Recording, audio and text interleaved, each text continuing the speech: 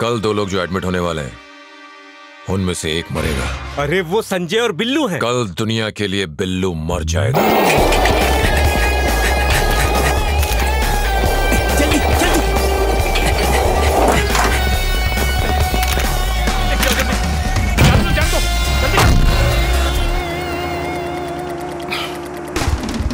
What's next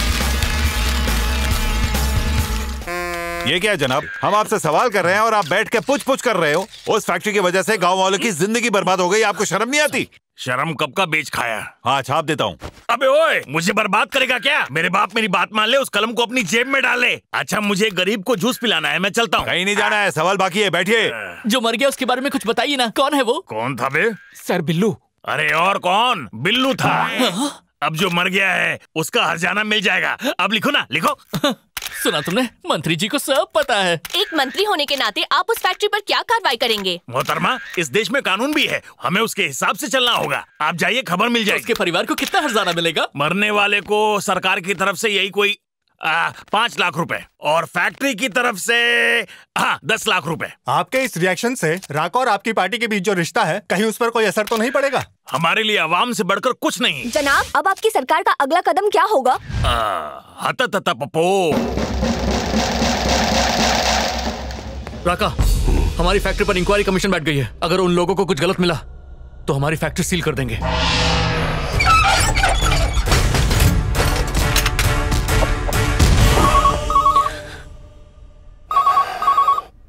hello Munna. अखबार में अपने कारनामे पढ़ के तुझे खुशी तो बहुत हुई होगी। कभी सांप सीढ़ी का खेल खेला है? ऊपर चढ़ते चढ़ते बहुत से सांप मिलते हैं जिनके काटने से आदमी मुँह के बल गिरता है। और इस खेल में भी तुझे मिलने वाले हर सांप का नाम होगा मुन्ना। तेरी फैक्ट्री के बंद होने से सिर्फ़ मैं अकेला खुश नहीं हूँ।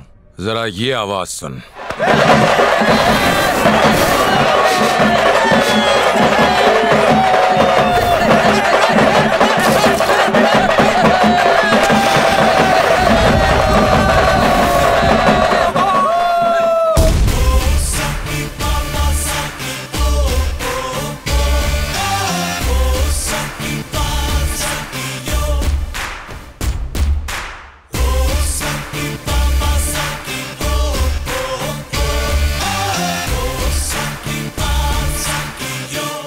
ये सब जो भी हो रहा है सबको पता है मुन्ना कर रहा है।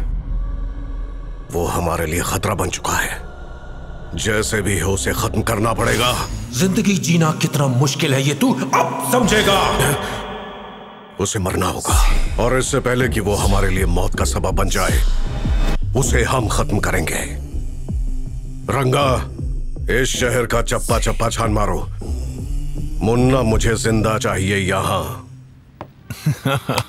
राका की तबाही शुरू हो गई और उसे तबाह करने वाले का नाम है मुन्ना।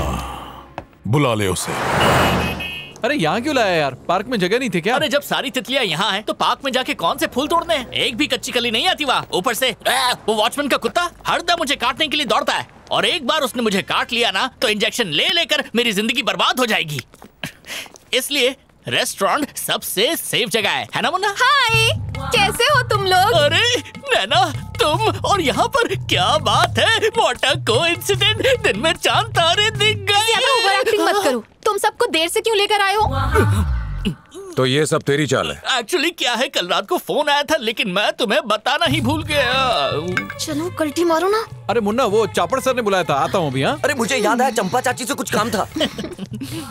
बिल्लू वो कॉर्नर टेबल पर एक बहुत ही खूबसूरत लड़की बैठी है। तुम्हारे रहते हुए मैं दूसरी लड़की की तरफ़ क्यों देखूँ? क्योंकि तुम कबाब में हड्डी बन रहे हो। चलो सबको भगा दिया। अब बोलो क्या बात है? मुन्ना मेरे दिल में ना तुम्हारे लिए प्यार बढ़ता ही जा रहा है। मत बढ़ाओ।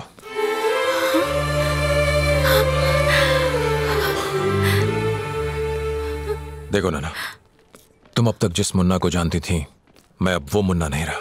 कल को मेरे साथ क्या होगा मुझे नहीं पता अच्छा या बुरा कोई गारंटी नहीं।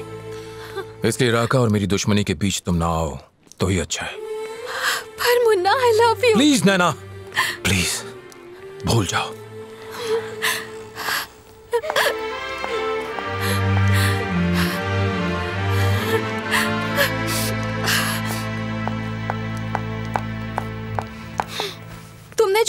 दोबारा कहो? मुझे याद नहीं। हम्म, मुझे याद है। तुम्हारे और राका के बीच मैं ना आऊँ तो ही अच्छा होगा। यही कहा था ना? अब देखो। ये राका है। तुम्हारे और राका के बीच मैं नहीं आऊँ ऐसा तुम चाहते हो। और अगर हम राका को ही बीच से हटा दें तो तो तुम मुझे पसंद करोगे है ना? मैंने ऐसा कब कहा? तुमने यही तो कहा था। मैंने ऐसा कभी नहीं कहा। मतलब तो यही था ना? नहीं कहा था। नहीं तुमने यही कहा था। नहीं। मुन्ना! नैना! मुन्ना!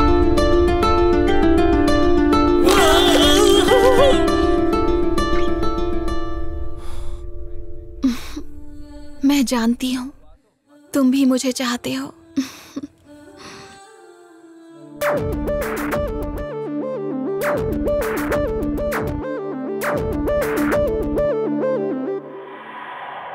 माया। आज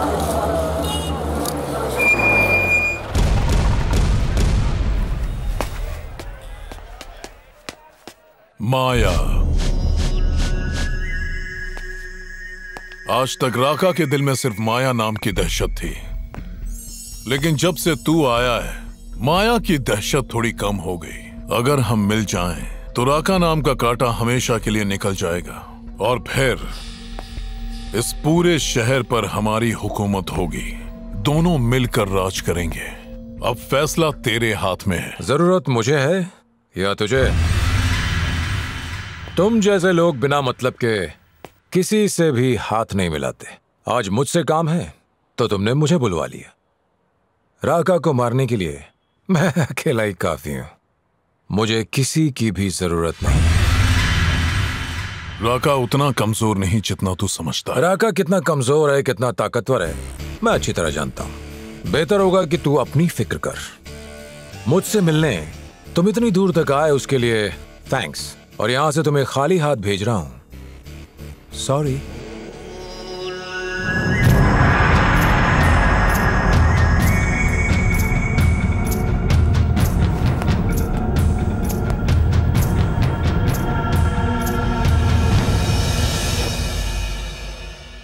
अब वो मुन्ना हमारे हर धंधे में अपनी टांग अड़ा रहा है राका। रंगा ऐसी अफवाह है कि मेरे ही गैंग में कोई गद्दार है। कौन? और वो गद्दार सब कुछ मुन्ना को बता रहा है लेकिन उसके बारे में हमें कुछ नहीं पता। कहीं वो गद्दार तू तो नहीं रंगा। मैंने तेरे ही हाथों तेरे भाई को मरवाया उस बात का मलाल है। सही कहा ना? मेरे जो भी दोस्त हैं मुन्ना उनसे नहीं मिलता। पर जो भी मेरे दुश्मन हैं वो उनसे ज़रूर मिलता है। शिवा मुन्ना आएगा। आते ही उसकी धज्जियाँ उड़ा दो। मुन्ना राका को हराने के लिए हमें उसकी कमज़ोरी ढूंढनी होगी। उसकी रग रग से वाकिफ होना पड़ेगा। इसमें तुम्हारी एक ही शख्स मदद कर सकता है। कौन? वो है रंगा। कहाँ मिलेगा?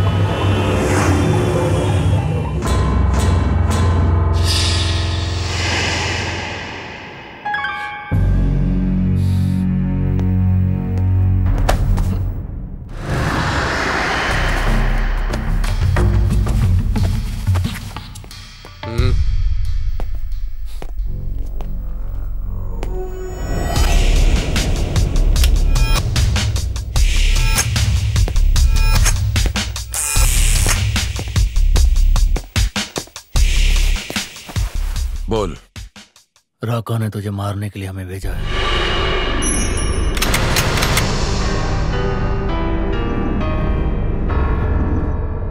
टेबल के नीचे गन है। जल्दी निकाल।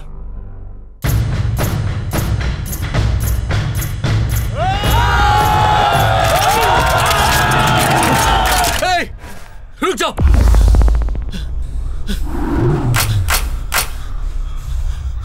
गन्स नीचे करो।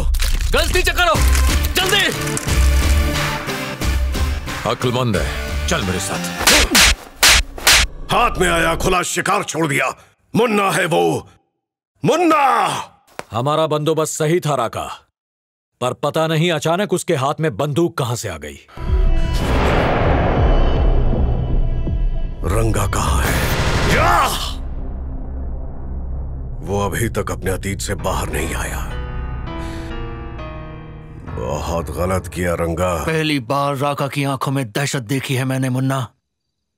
उसने मेरे ही हाथों से मेरे भाई को मरवाया इसीलिए मैंने तेरे और राका के बीच में क्या लेना देना है मुझे नहीं सुनना। तू राका को जानता है।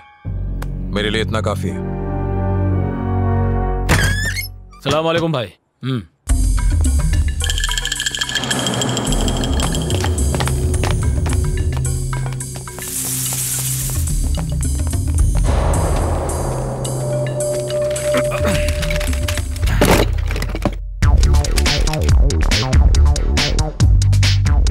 ये देख जर्मन मेड एकदम रापचिक माल है। मेड इन इटली एकदम मस्का। ये देख रबर ओनली वन पेटी जो भी चाहिए उठा ले।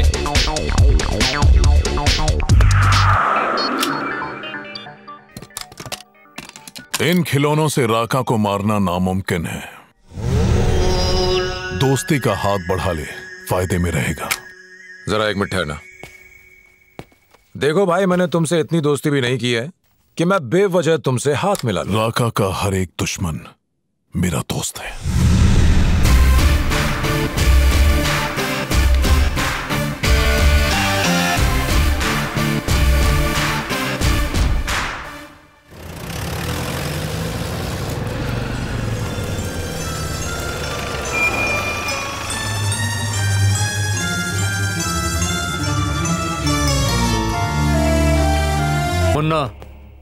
तुम कितनी भी कोशिश कर लो फैक्ट्री बंद नहीं होगी। इंक्वायरी कमीशन की रिपोर्ट देने के बाद भी मिनिस्टर वर्मा ने साइन नहीं किया। राका की ताकतों में सबसे बड़ी ताकत है उसकी सियासी पहुँच। उसे खत्म करना है। वर्मा से अपॉइंटमेंट फिक्स करो। वर्मा राका का आदमी है। वो हमें अपॉइंटमेंट नहीं दे